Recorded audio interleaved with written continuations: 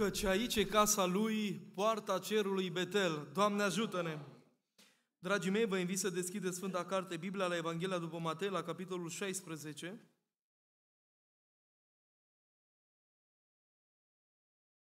Intenționez să citesc la versetul 13 până la versetul 20. Începând cu seara aceasta de joi, vom deschide seria unor predici care se circumscriu zonei de teologie numită eclesiologie, adică ce ține de biserică.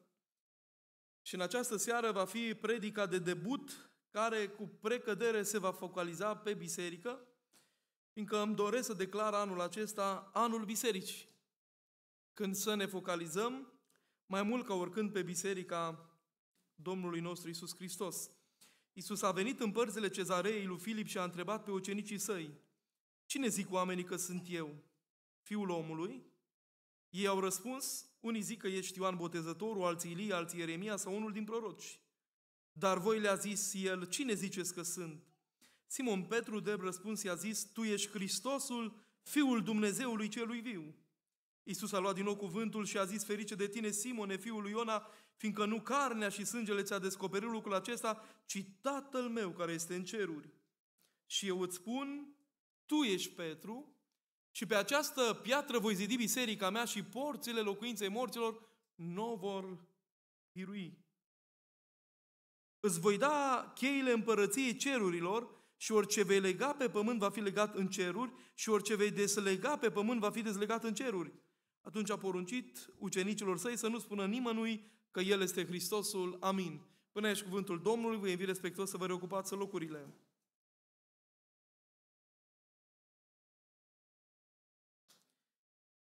În timp ce astăzi reflectam la tema predicii, m-am dus cu mintea în urmă cu exact patru ani de zile, când tot într-o perioadă de iarnă târzie, cum ar fi finalul lui februarie, stăteam și așteptam să vedem ce se va întâmpla. Vine sau nu vine pandemia? Se vor închide sau nu se vor închide bisericile? Și cu multă dezamăgire în suflet, am auzit că legea ne obliga să se închidă bisericile. Și s-a întâmplat asta pentru câteva luni de zile. Am putut să citesc atunci disperarea în sufletul unor oameni, teama, grija pentru ziua de mâine și pentru viitorul lor și începeau să trăiască nostalgii ale faptului că s-ar putea să nu mai fie la fel ca înainte. E un har că după patru ani de zile, în această seară suntem în biserică. E un mare har că ușile bisericile sunt deschise și încă în vremuri de libertate ne adunăm la casa lui Dumnezeu. Amintiți-vă ce s-a întâmplat atunci, ce s-a întâmplat prin Canada, când pastori care și-au permis să deschidă biserici au trebuit să plătească bani grei, alții privați de libertate, bătuți, loviți. Aș vrea să vă spun că unul din cei mai proeminenți reformatori, Martin Luther, spunea că dacă Dumnezeu este Tatăl nostru, biserica este mama noastră. Și vreau în această seară și cu studiile care vor urma în serile de joi, să înțelegem cât de importantă este biserica și cât de mult trebuie să dăm noi valoare acestui loc în care Dumnezeu se prezintă. Casa lui Dumnezeu. Atunci când vorbim despre biserică, termenul grecesc pentru biserică este eclesia, care făcea referire la o adunare publică, o convocare a unei adunări publice și de fapt Dumnezeu cheamă oameni de pretutindeni să alcătuiască poporul său, care să-i poarte mandatul, mesajul, menirea, misiunea, dar și destinul glorios pe care Dumnezeu îl are pentru biserica sa. Biserica este începutul pământesc al împărăției lui Dumnezeu, este forma vizibilă prin care noi putem să arătăm împărăția lui Dumnezeu.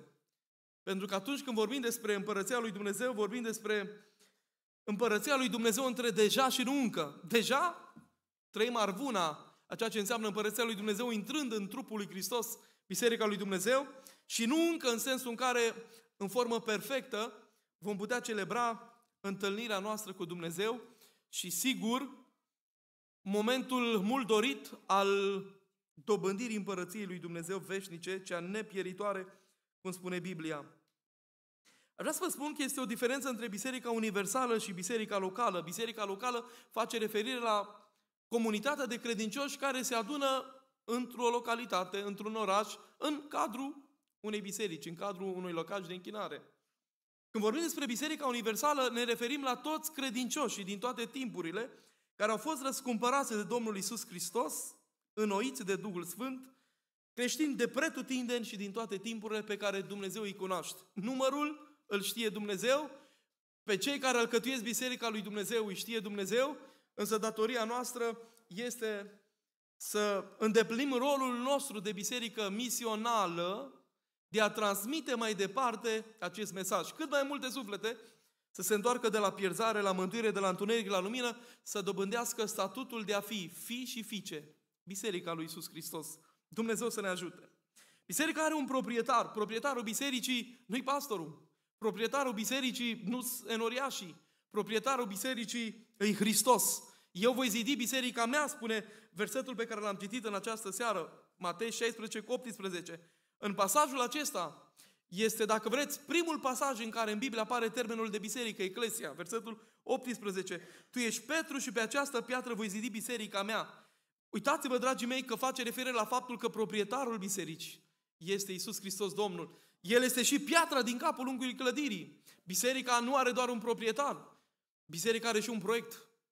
Pentru că orice clădire din lumea asta are un proiect după care trebuie să se construiască clădirea și biserica se construiește după proiectul numit Biblia. Dumnezeu ne-a lăsat această Biblie care să ne slujească drept proiect. Cum să arate biserica? Și vom vedea în această seară ce trebuie să rămână biserica lui Dumnezeu. Fiindcă predica mea tocmai la întrebarea asta vrea să răspundă. Ce trebuie să rămână biserica lui Dumnezeu? Sigur că are și o temelie Temelia, dragii mei, așa cum spune Psalmul 119 cu 60, temelia lui este adevărul. Și uitați-vă ce spune în 1 Timotei, capitolul 3, cu versetul 15, Sfântul Apostol Pavel. Să știi cum trebuie să te porți în casa lui Dumnezeu, care este biserica Dumnezeului celui viu, stâlpul și temelia adevărului.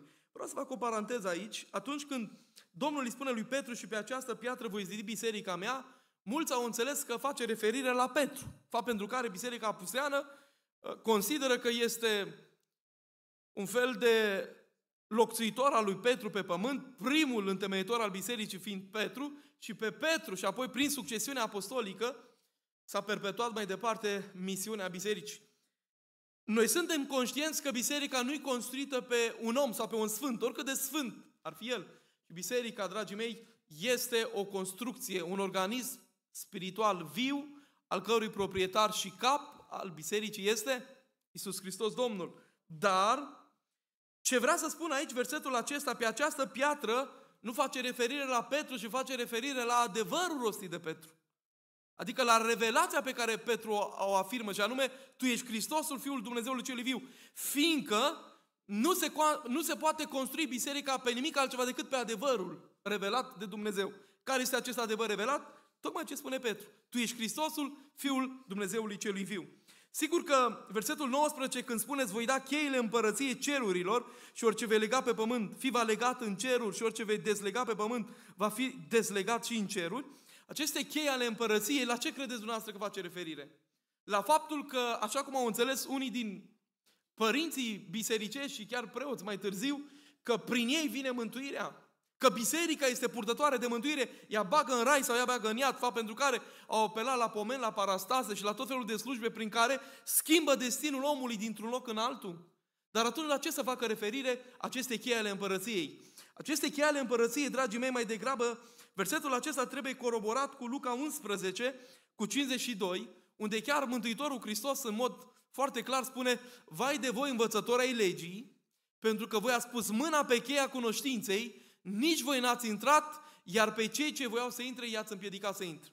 Mai degrabă, aici Domnul Iisus Hristos îi spune lui Petru, cheile pe care voi, în calitate de biserică, le aveți, sunt cheile cunoștinței sau a învățăturilor Scripturii, prin care puteți să-i duceți pe oameni în cer sau, din potrivă, puteți să-i îndepărtați pe oameni de la adevăr și, evident, de la împărăția lui Dumnezeu. Adică, mai degrabă, cred că este vorba despre cheia la ce face referire?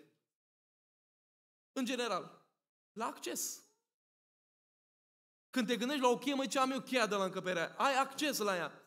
Atunci, mai degrabă, cheile acestea sunt instrumentele de acces pe care Dumnezeu ni le-a pus la dispoziție ca prin învățăturile pe care le dăm să îi ducem pe oameni în împărăția lui Dumnezeu. Și noi, dar și cei ce ne ascultă, să dobândească împărăția lui Dumnezeu. Dumnezeu să ne ajute să ne binecuvinteze. Dar, cea de-a doua parte a versetului 19, ce vei lega pe pământ va fi legat în ceruri, sau ce vei dezlega pe pământ va fi dezlegat în ceruri, face referire și la o autoritate pe care Hristos o deleagă slujitorului lui Dumnezeu, care se ocupă de biserică, în actul de disciplinare a celor care, la un moment dat, se îndepărtează de Dumnezeu. Și toate acestea trebuie să facă în scopul corijării, ridicării, reabilitării omului.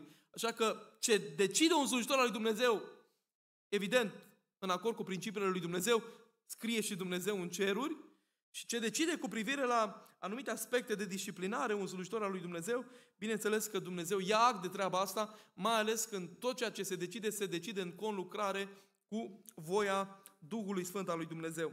Aș mai zice că dacă biserica are proiect proprietar, are o fundație pe care stă, are pietre, spuneam, piatra din capul înclădirii fiind Hristos, iar celelalte pietre trebuie să fim noi. Pietre vii, spune Efeseni, capitolul 2, versetul 20 sau 1 Corinteni 3 cu 10. Ce înseamnă asta practic? Uitați-vă dumneavoastră cu orice clădire care se construiește, chiar și acela de au intrat aproape în parcul Chindiei, au cărămidă cu cărămidă. Și există un rând de cărămizi, al doilea rând, al treilea rând. Biblia spune, voi, în această construcție spirituală a mea, biserica, voi trebuie să fiți o piatră vie. Niciodată nu o să vedeți că într-o clădire propriu-zisă, eu știu, piatra care e de la rândul 12 sau ultimul rând, să uite spre cele mai de și eu sunt la o înălțime nesuperioară vouă. Și n-are voie să facă treaba asta, fiindcă aia de sus știe că cele de mai jos o susțin.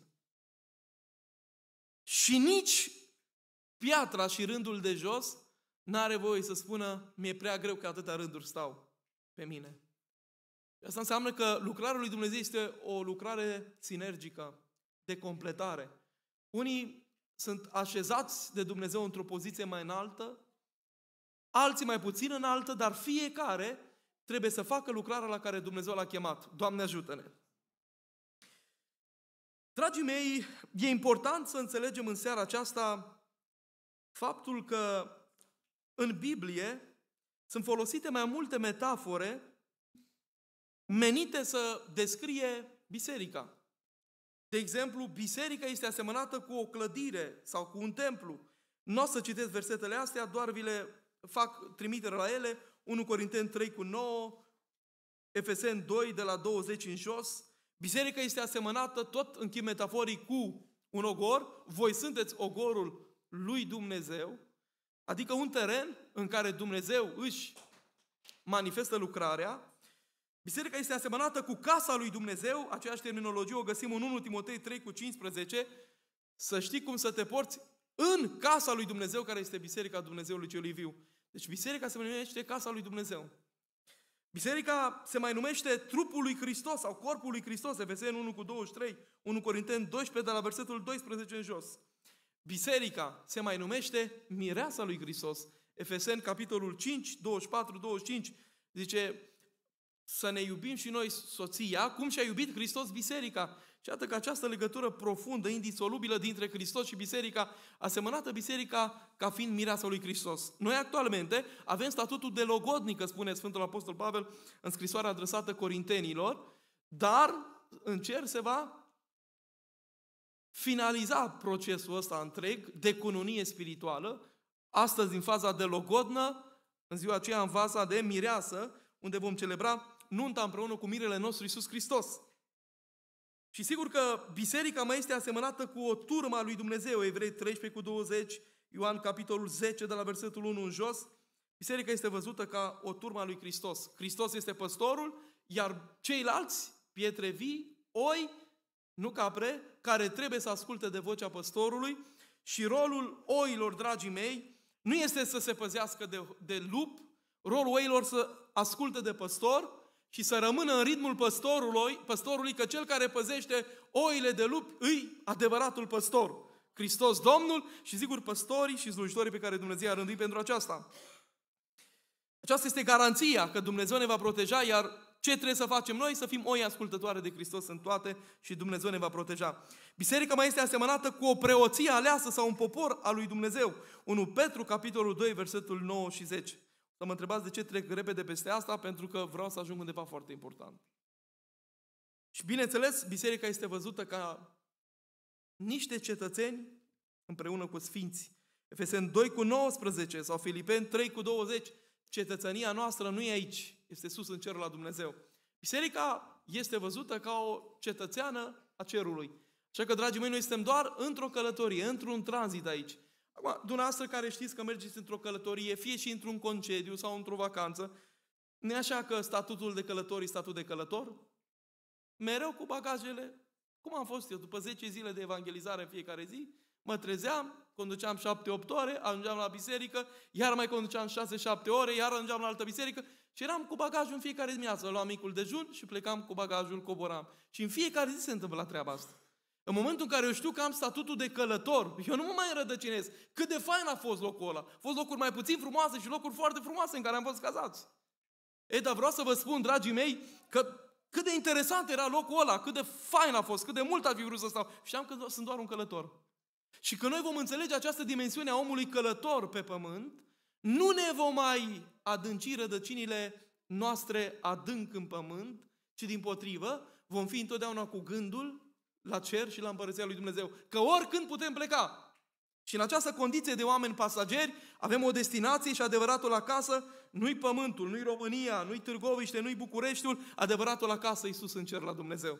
Dumnezeu să ne ajute să ajungem acolo.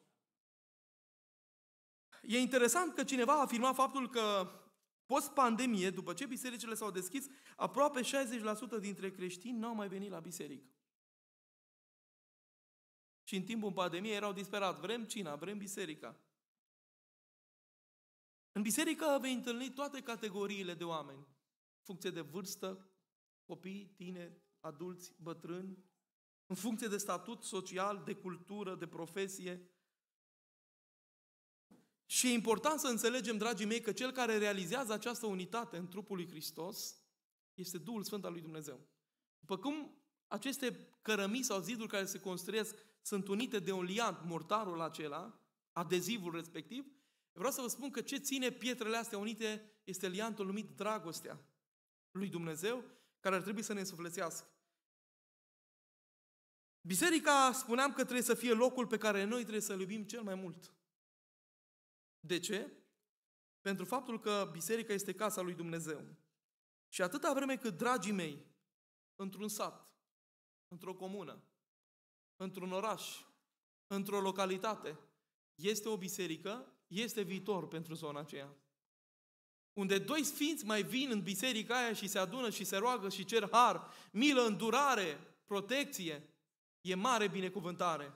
De aceea, dragii mei, îi mulțumim lui Dumnezeu că în Târgoviște sunt mai multe biserici. Și mulțumim lui Dumnezeu că în bisericile acestea oameni vin și cheamă numele Domnului și mijlocesc, se roagă și se luptă să trăiască în frică de Dumnezeu. Dumnezeu să ne ajute pe toți. S-a făcut o statistică cu privire la Care sunt motivele pentru care oamenii au venit sau au rămas în cadrul unei biserici locale, evident?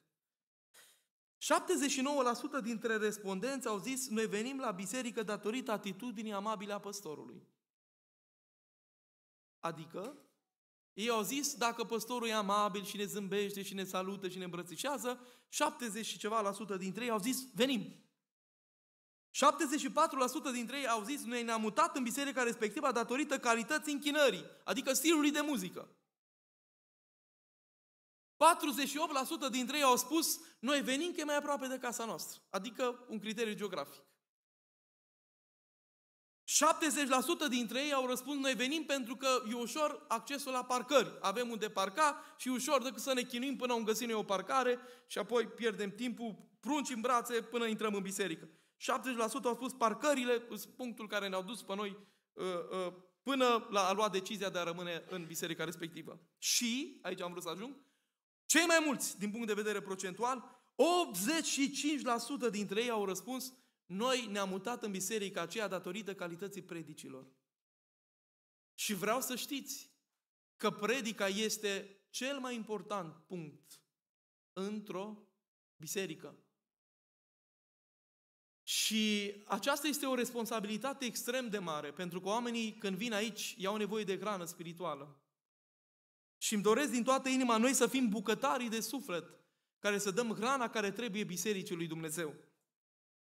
Vedeți, dragii mei, Biserica lui Dumnezeu din totdeauna a avut perioade grele.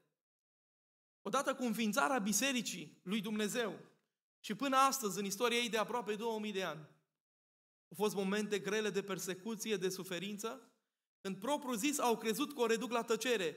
Și după ce mari lideri spirituali au fost îngenunchiați, alții omorâți, au zis, am terminat cu biserica. Dar vorba unui părinte bisericesc din perioada patristică nu știau că sângele martirilor este o sămânță a Evangheliei lui Dumnezeu. Și în loc ca biserica să descrească, biserica a crescut. Și iată, dragii mei, că am ajuns să fim miliarde de credincioși și aceștia, bineînțeles, că se ramifică în tot felul de denominațiuni confesionale creștine. Dar toate acestea sunt rezultatul jertfei lui Hristos de la Calvar și a Duhului Sfânt care a aplicat mântuirea în viețile oamenilor, dar și a Bisericii lui Dumnezeu, care, călăuzită de Duhul lui Dumnezeu, n-a dat înapoi. A mers înainte, a misionat, mulți au plătit cu prețul vieții, preț de martiriu, au fost omorâți ei, poate copiilor, soțiile lor, au pierdut tot ce era mai drag din punct de vedere pământesc, dar ei au mers înainte și au dus Evanghelia lui Dumnezeu. Prin arenele romane, aruncați la fiarele sălbatice, ultimul strigăt al lor era despre proclamarea veștii bune a împăcării omului cu cerul. Asta numai Duhul Sfânt o poate face, pentru că spune chiar faptele apostolului, biserica se mulțea cu ajutorul Duhului Sfânt al lui Dumnezeu. Și cu cât noi lăsăm libertate mai mult Duhului Sfânt în viețile noastre, Duhul lui Dumnezeu produce multiplicarea credincioșilor în trupul lui Hristos, slăvit să fie numele Lui. Acum, dragii mei, vreau să ajungem într-o zonă foarte importantă. Ce anume? Am observat că sunt câteva riscuri care ne pas pe noi în ultimii zeci de ani ca biserică și aș vrea câteva dintre ele să le nominalizez. Una din marile probleme ale bisericii este comercializarea bisericii. Dacă în urmă cu ceva vreme, în urma unei statistici care s-a făcut, s-a spus că cea mai credibilă instituție din lume era biserica și uh, armata, la ora actuală biserica nu mai este pe primul loc. De ce? Pentru că în momentul în care să-ți facă slujba de mormântare este condiționată de o sumă de bani, biserica s-a comercializat. În momentul în care a te duce să oficiezi o nuntă și este condiționată de o sumă de bani, înseamnă că biserica s-a comercializat. Biserica ar trebui să fie locul în care cel păcătos, cel bonlav, cel nenorocit și rănit în suflet să găsească mângâiere. Și Dumnezeu va purta de grijă lucrării sale. E adevărat că noi, ca și oameni al lui Dumnezeu, trebuie să ne implicăm cu tot ce ne-a dat Dumnezeu la dispoziție pentru bunul mers al Bisericii lui Dumnezeu. Dar mare atenție la acest prim aspect. Nu, nu, nu, nu dezvălui mai mult de aici, pentru că uh, avem și alte puncte foarte importante. Un alt risc care paște Biserica lui Dumnezeu este contrafacerea bisericii. Adică să-i schimbi destinația. Să faci biserica altceva decât ce a rânduit Dumnezeu pentru ea. Și anume, biserica poate să fie transformată într-un muzeu. Așa se face că, deseori când mă plimb prin Olanda și prin multe alte țări din Europa, observ multe catedrale în care altădată se adunau mii și zeci de mii de credincioși, prin proeminenți și renumiți evangeliști la nivel mondial. Astăzi, cele mai multe din acele biserici sunt niște muzee în care oamenii vin ca la, ca la un loc în care să viziteze. Au făcut poze, au zis acolo era Sfântul ăsta, a predicat și mai departe. Biserica să se contrafacă, să schimbe destinații. Nu-i de mirare când în Germania s-au desfințat în ultimii 10 ani peste 500 de biserici. În Danemarca 200 și-au închis ușile. Biserica anglicană închide, spune o statistică, în fiecare an câte 20 de biserici.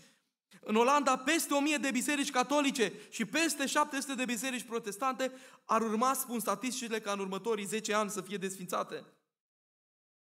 Și mă întreb, oare în ce se transformă bisericile astea? În biserici mai mari? Răspunsul este nu. În hoteluri? În cluburi? În pariuri sportive? În discoteci? Și în orice altceva. Și lucrul ăsta este strigător la cer. Acum când secularismul mai mult ca oricând invadează familii, biserici, instituții religioase, e nevoie, dragii mei, să redefinim ceea ce a spus Hristos că este biserica și să reafirmăm ce trebuie să rămână biserica lui Dumnezeu. Pentru că riscul este ca biserica să schimbe destinația, să fie pervertită, să fie contrafăcută. Unii au făcut din biserică un fel de sală de spectacol, în care doar unii cântă, unii predică, îți făcuți predicatul un fel de actor de teatru, care să facă circ, acum să te facă să râzi, acum să te facă să plângi, și a făcut din biserică un show și un divertisment ieftin, în care biserica nu mai este un loc de închinare, și o sală de spectacol, în care vii, ți-ai plătit biletul și te uiți. Nu cântați bine, ați cântat foarte bine sau nu prea bine. A vorbit bine, bă, ce discurs a avut omul ăla. Și putem să facem de biserică o sală de spectacol. S-ar putea contraface biserica într-un club de socializare. Cafele, alune, semințe, stăm, discutăm și facem din biserică un club de socializare. Tu zice, hai să-mi dai ceva de lucru. Tu zice, mă poți ajuta cu ceva. Și pentru că vrem să rupem singurătatea, plictiseala, facem din biserică un fel de club de socializare în care venim, ne bem cafelele, mai discutăm, mai dis- vorbim între noi și biserica, nu asta a fost intenția lui Dumnezeu am putea să facem din biserică un fel de peștere de tâlhar. Să ajungă biserica un mormânt în care să nu te mai miște nimic, să nu te mai miște predica, rugăciunea, cântarea de laudă, să nu mai freamă-te dorul în inima ta după Dumnezeu. Și iată, dragii mei, că biserica poate să ia și forma aceasta. Dumnezeu să ne ferească.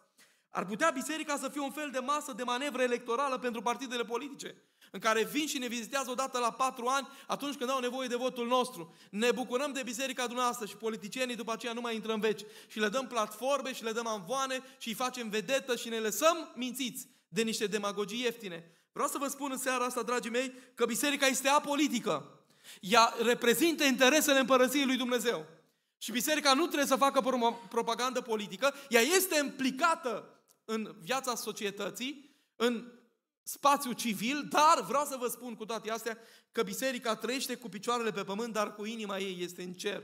Și da, suntem atenți pe cine votăm, suntem atenți cu cine ne însoțim, uh, suntem atenți la ce le se dau, ne rugăm pentru politicienii noștri, dar biserica trebuie să fie apolitică.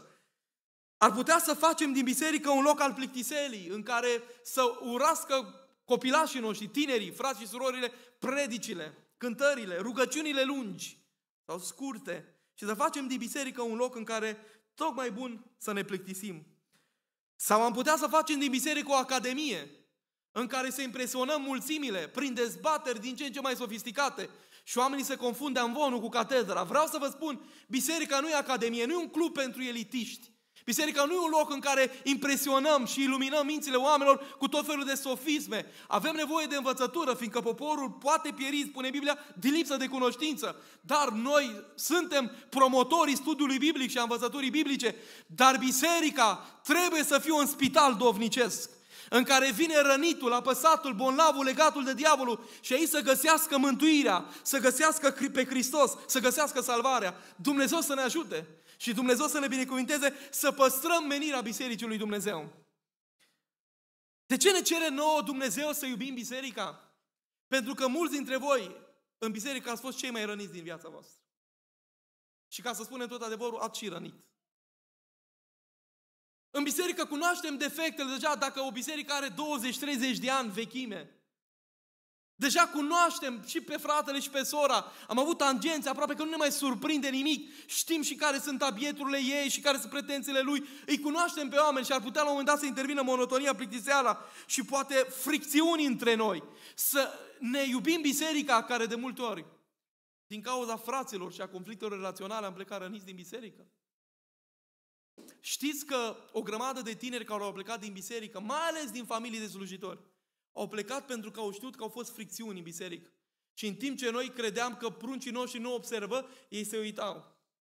La discuții, la conflicte, la faptul că unul voia hăi sau altul voia cea și în felul ăsta o grămadă de tineri și adolescenți s-au îndepărtat de Dumnezeu.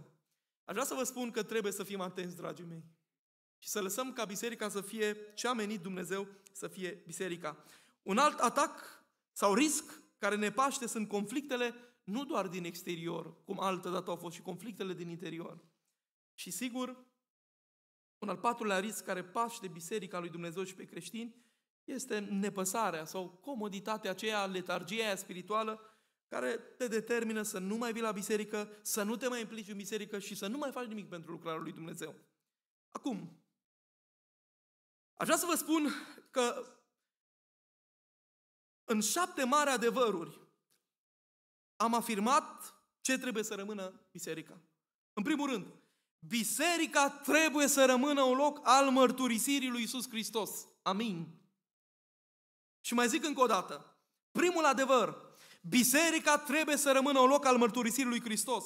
1 Corinteni 2 cu 2 spune, n-am vrut să știu de nimic altceva între voi decât pe Iisus Hristos răstignit.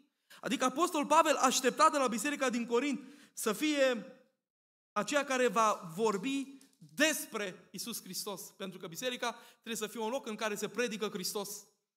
Biserica adevărată este biserica în care se predică Biblia și predicele și cântările sunt cristocentrice. Tot ce se face, se face în jurul persoanei Domnului Isus Hristos. Pentru că Hristos a murit pentru biserică și prin jertfa lui Hristos omul poate să găsească mântuirea. Vreau să vă spun că în 14 aprilie 1912, una dintre revistele de prestigiu descria Titanicul ca fiind indestructibil. Chiar așa și-a spus, nici Dumnezeu nu mai poate scufunda această barcă. John Harper s-a convertit la vârsta de 14 ani și la 18 ani a început să predice. În 1897, la doar 25 de ani, a, venit, a devenit pastor al Bisericii Baptiste din Glasgow. Prin păstărirea acesteia, biserica a crescut rapid de la 25 de membri la 500 de membri și au fost nevoiți să se mute într-o altă locație. În momentul dezastrului de pe Titanic, Harper avea doar 39 de ani, văduv și cu o fetiță de 6 ani pe care o creștea. Motivul pentru care se afla la bordul Titanicului, Titanicului era privilegiul ce îi se făcuse de către una din cele mai mari biserici din Statele Unite, să predice la biserica renumitului evanghelist Moody. Biserica din Chicago, America, aștepta cu nerăbdare sosirea acesteia, nu, nu doar pentru serviciile de evangelizare ce aveau să urmeze, ci pentru a-și cunoaște viitorul potențial păstor, invitația fiind făcută, urmând doar ca Harper să confirme. John Harper era cunoscut ca un predicator atractiv, foarte potrivit pentru a predica în aer liber, cu o inteligență și capacitate de înțelege adevărului biblic. Îi permitea să combată toate ereziile. Atunci când vasul Titanic s-a izbit violent de acel iceberg, Harper, ca o măsură de siguranță, și-a pus fetița într-o barcă de salvare, lăsând-o în grija unei verișoare care îi însoțea în călătorie. Predicatul ar fi putut să rămână și el în barca de salvare îngrijind de fetița lui, dar a optat pentru a se întoarce pe vas și a da celor de acolo încă o oportunitate de a-L cunoaște pe Hristos. Există mărturii înregistrat că Harper le-a vorbit fiecare persoane ce se afla în panică despre nevoia de mântuire. Când a început să se scufunde Titanicul, Harper a fost auzit strigând, femeile, copiii și cei nemântuiți să urce primii în bărcile de salvare. Când Harper a auzit pe un bărbat refuzând chemarea de a-L accepta pe Hristos, acesta i-a dat vesta lui de salvare, spunând, acesta are nevoie de ea mai mult decât eu. Auziți ce se întâmplă în momentul în care Harper stătea pe un fel de lemn pe care se sprijinea în încercarea de a salva viața. Zice, până în ultimul moment în care a fost la bord, pastorul a insistat la cei prezenți ca să-și predea viața lui Isus. Patru ani mai târziu. În timpul unei reuniuni în Canada, a celor care au supraviețuit catastrofei, unul dintre oameni a povestit ce s-a întâmplat în apele Atlanticului. El se afla plutind pe o bucată de lemn când dintr-o dată un val l-a împins spre marele păstor John Harper, care la rândul său încerca să se mențină la suprafața apei pe o altă bucată de lemn. El mi-a strigat atunci, zice ăsta care a supraviețuit. Ești tu mântuit? Nu, nu sunt, i-am răspuns. Crede în Domnul Isus Hristos și vei fi mântuit, mi-a strigat. Valurile l-au îndepărtat din nou pe Harper de către mine Apoi iarăși a venit aproape de mine și a zis, ești tu mântuit? Mi-a strigat din nou și am spus, nu. Și atunci a zis el, crede în Domnul Isus Hristos și vei fi mântuit. Atunci Harper, pierzându sprijinul din bucata de lemn, s-a pierdut în valuri și acolo singur în noapte cu două mile de apă sub picioare, ăsta zice, eu mi-am predat viața Domnului, el a fost salvat, dar Harper a murit în apele Oceanului Atlantic. Știți ce înseamnă asta?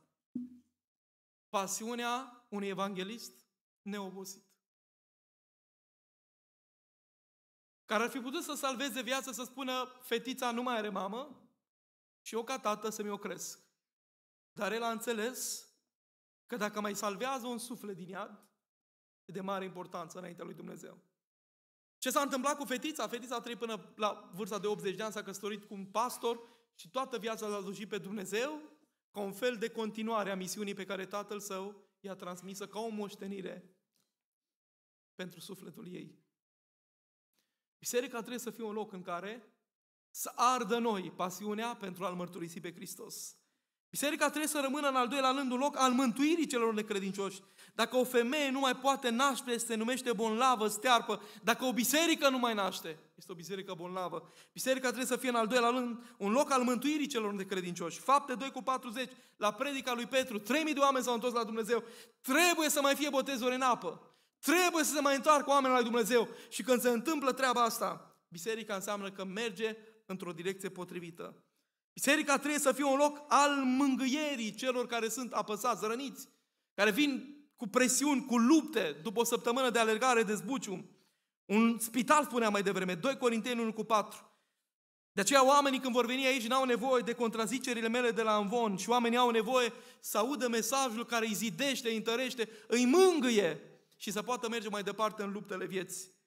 În al patrulea rând, biserica ar trebui să fie un loc prin care noi mulțumim lui Dumnezeu prin ceea ce facem, cântarea noastră, închinarea noastră, dărnicia noastră. Toate închinate Domnului nostru ca un fel de jertfă de mulțumire pe care îi oferim Domnului pentru ce a făcut și continuă să facă în viața noastră. În al cincilea rând, biserica trebuie să fie un loc al mijlocirii. Matei 21 cu 13, casa mea se va numi o casă de rugăciune. Biserica trebuie să fie un loc în care să se dea posibilitatea fiecărui om să-și plece genunchiul și să se roage. Sunt femei care nu pot să se roage acasă pentru că soților sunt necredincioși. Și aici la biserică vin cu răni în suflet și oamenii ăștia trebuie să vină, să se închină, să se roage, să ceară mila lui Dumnezeu să primească noi puteri de a merge înainte. Sigur că în al șaselea rând, biserica trebuie să fie un loc al modelării și maturizării duovnicești. Amintiți-vă de Eremia 18. M-am dus în casa olarului. Și ce făcea olarul? Rământa lutul până când ne-a dat forma pe care a intenționat-o din totdeauna olarul pentru lut. Olarul e Dumnezeu. Și în casa lui Dumnezeu, când vii aici, trebuie să fie locul în care Dumnezeu modelează ființa ta. Mare Dumnezeu ceva de sfințit în noi, mare Dumnezeu ceva de corectat în noi. Și în felul acesta, prin predici, prin învățături, prin îndemnurile care se dau, prin cântările de laudă, noi trebuie să ne maturizăm și să creștem tot mai mult într-o asemănare cu Isus Hristos. Dumnezeu să ne ajute. Și, în al șaptelea rând, biserica trebuie să rămână un loc al minunilor. Evrei, capitolul 2, cu versetul 4. În timp ce Dumnezeu întărea mărturia lor cu semne puteri și felurite minuni și cu darurile Duhului Sfânt împărțite după voia sa. Și amintiți-vă ce se întâmplă în fapte 3, când Petru și Ioan se suiau împreună la ceasul rugăciunii la templu. Și când au ajuns la templu, la casa lui Dumnezeu, ce s-a întâmplat acolo?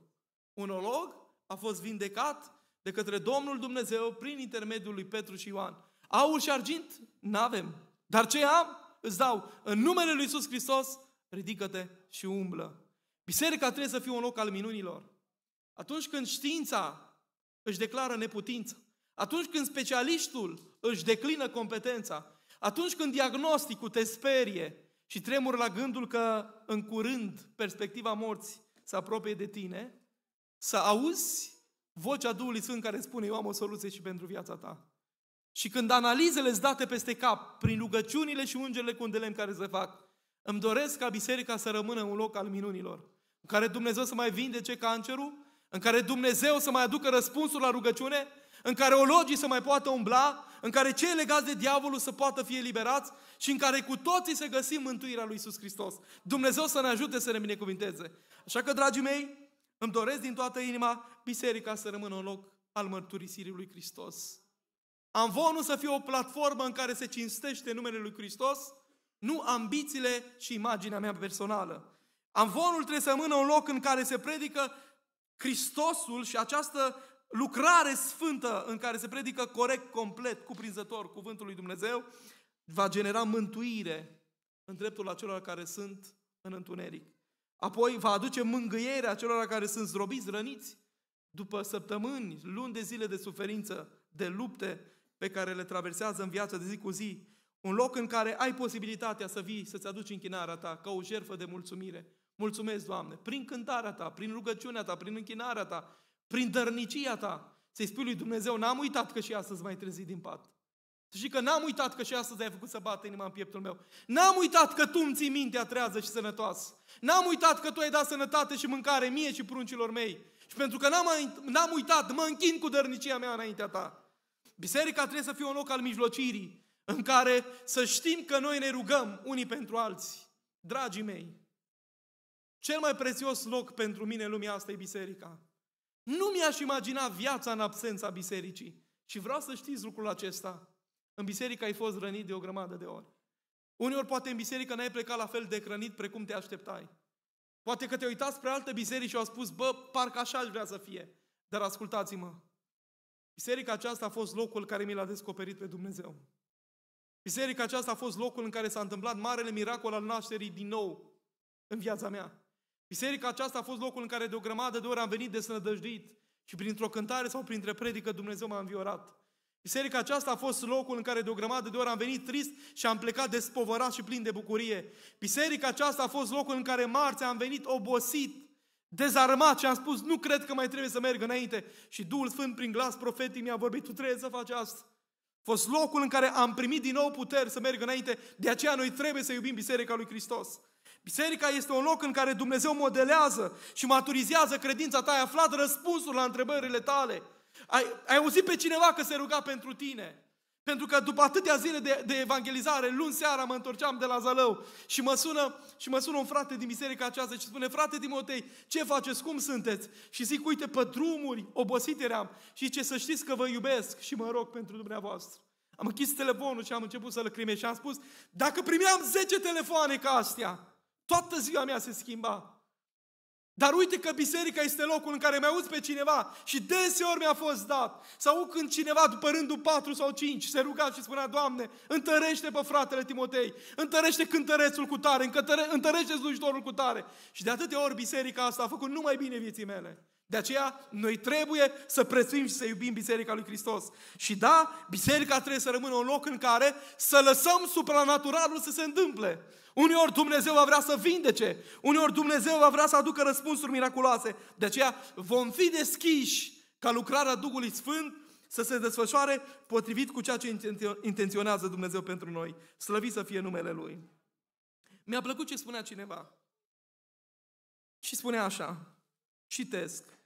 Iubesc biserica nu atât de mult pentru cum o văd eu, ci pentru cum o vede Dumnezeu. Iubesc biserica nu atât de mult pentru ce facem noi în ea, ci pentru ce a făcut Hristos pentru ea. Iubesc biserica nu atât de mult pentru oamenii din ea, ci pentru Hristosul din ea. Biserica e familia mea. Iubesc biserica pentru misiunea ei. Dar și iubesc biserica pentru destinul ei. Pentru că porțile locuinței morților nu vor birui. Și sintagma biblică de aici, porțile locuinței morților, înseamnă guvernul morți. Într-o vreme în care oficiile guvernamentale erau la porți. Se stabilau destinele economice, politice, sociale a unui stat sau unei localități. Domnul spune, guvernul morții și toate cohortele de demoni nu vor putea birui biserica. Biserica are un destin. Ea va ajunge sus în cer la Dumnezeu. Câți vor încerca să o calce în picioare, să o cotropească, să o lovească, biserica are o misiune clară și are un destin înălțător. Într-o zi vom ajunge cu toții sus în cer la Dumnezeu. Dumnezeu să ne ajute să fim parte a Bisericii lui Dumnezeu și să fim așa cum cântă frații noștri. Noi suntem biserica. Să fim biserica lui Dumnezeu. În concluzie,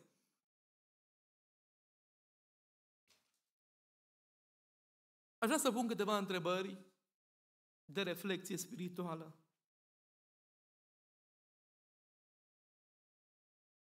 Dacă toți membrii acestei biserici ar citi Biblia la fel de consecvent și atent cât o citești dumneata, te-ai mulțumi cu astfel de biserică? Dacă toți credincioșii acestei biserici s-ar ruga câte rogi tu, ai fi fericit toți credincioșii să aibă un nivel de rugăciune ca al tău? Dacă toți credincioșii din biserica asta ar fi la fel de prezenți la slujbele religioase cât de prezent ești tu, ți-ar plăcea să fii păstorul unei astfel de biserici? Dacă toți credincioșii ar evangeliza și ar spune despre Dumnezeu oamenilor cât de mult le spui tu, ți-ar plăcea să fii păstorul unei astfel de biserici? Dacă toți ar dărui și s-ar implica financiar în biserica aceasta, cât te implici tu, unde crezi că s-ar ajunge cu biserica lui Dumnezeu? Și dacă toți ar trăi pocăința, cum o trăiești tu, ai fi mulțumit de o astfel de biserică? Eram într-o țară din Europa, să mă iertați că nu o să mai pot spune nume, fiindcă în ultima vreme destul de cenzurat și verificat și analizat și răsanalizat. Și cineva m-a sunat și mi-a spus, după ce am slujit la evangelizarea respectivă, frate Timotei, nu-mi place biserica asta. Era cu privire la o biserică dintr-o țară.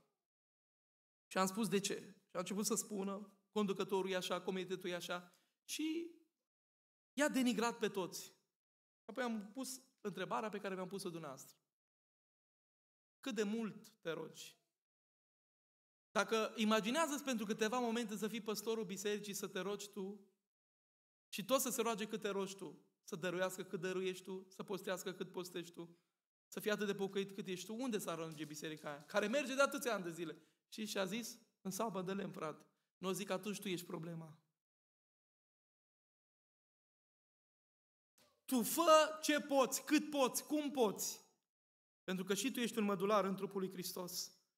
Pe tine nu, Dumnezeu nu te va judeca de alt, cu privire la alții și te va judeca cu privire la viața dumneata și mă va judeca cu privire la viața mea.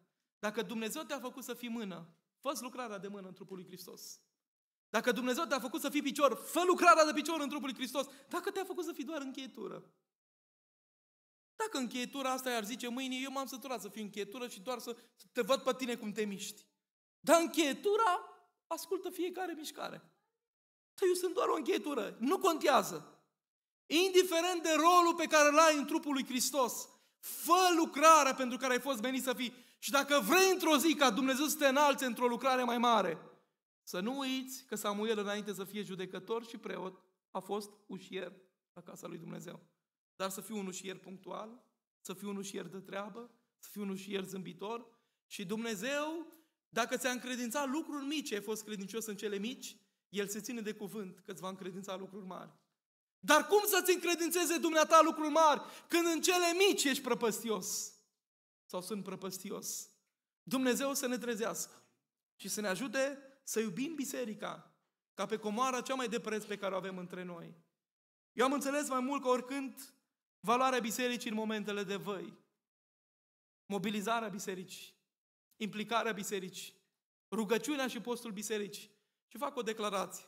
Nu mi-aș vedea viața fără de voi. Și nu mi-aș înțelege viața. Acum, pe oriunde am umblat, oferte au fost făcute. Și mari, din toate punctele de vedere. Dar am spus și o voi spune mereu. Nicăieri nu voi găsi o biserică mai frumoasă ca biserica aceasta.